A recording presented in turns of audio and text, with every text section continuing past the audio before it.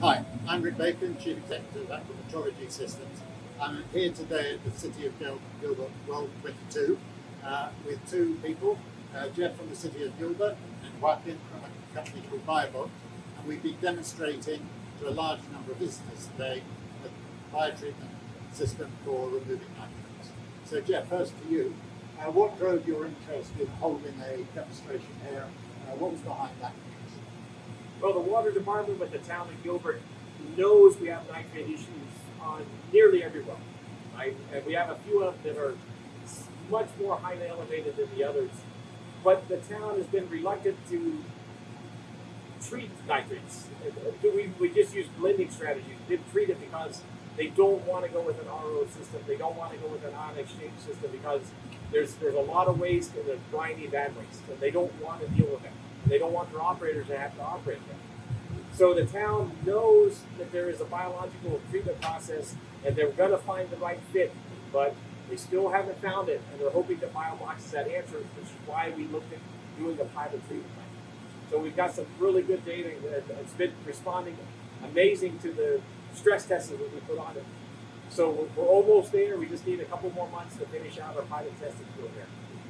Thanks, Jeff. And I, you make a very important point. So, to you, Martin, uh, what do you see as the advantages for, for Japanese colleagues of treatment versus reverse osmosis? Because this is really a critical decision making point in terms of how cities go forward with treating for nitrate.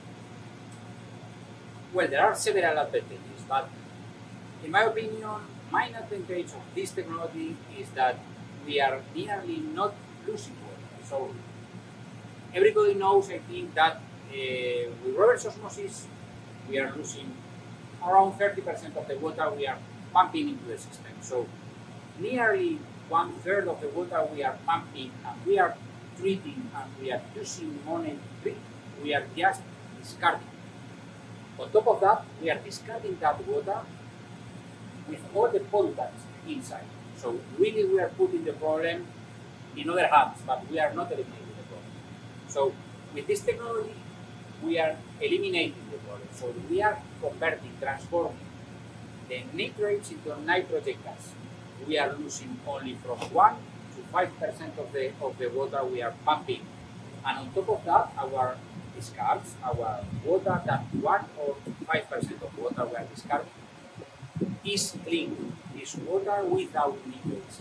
We are not putting the problem in the hands of, of others. The problem is solved, and the and the water treated water is there for the for the clients. Excellent. I think what cities are focusing on is not only the capital cost of treating, but then the treatment costs that come along behind.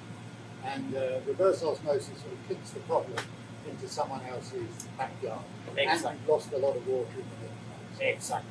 I think this has demonstrated that exceedingly well, and I thank you, Jeff, for making this available, and you making the trip and supporting this project over miles. So, thank you. Thanks out to you, Rick, to you, Jeff.